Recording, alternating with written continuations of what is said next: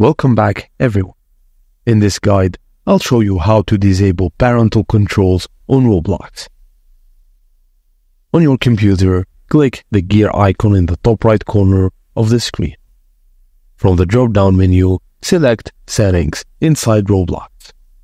On the left sidebar, click on Parental Controls. If a parent PIN is enabled, you'll need to enter it. If you don't know the PIN, you'll need the person who set it up to enter it for you.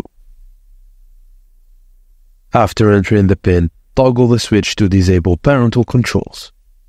With the parental controls turned off, you can now change settings without needing the PIN, and you may want to explore the Privacy tab where you can adjust account restrictions and communication settings. That's all there is to it.